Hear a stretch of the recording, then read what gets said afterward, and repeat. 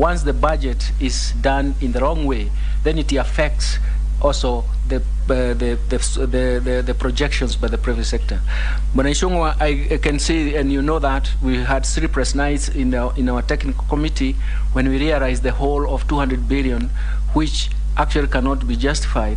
The whole thing is that it is history that is going to teach us a lesson. We have government led by His Excellency President William Ruto, which is actually saying, look, we have to follow the law. We have to follow the guidelines that we create. And we have to make sure that at the end of the period, we are evaluated on the basis of that. And I think uh, those are the issues that I will follow with strictness, uh, Junet, uh, and Mheshimiwa Ichungwa. Thank you very much. Thank you, Professor. We shall end here. Mukami, you've missed the boat today.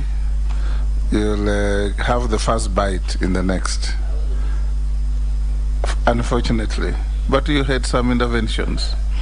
Uh, Professor, I give you three minutes to tell us your final wish to this committee and expectation.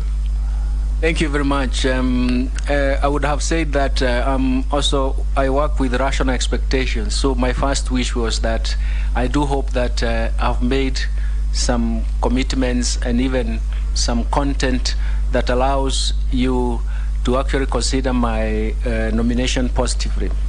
But more importantly, we run from the past. And we run from the past, that is adaptive running.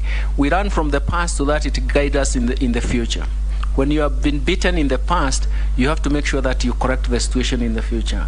I do believe correctively, together with the, uh, the National Treasury and, uh, and Economic Planning, and the parliamentary, because essentially we'll be consulting now and then, we can make a difference in terms of where we are going, and of course, make sure that we rectify or live down that bad history.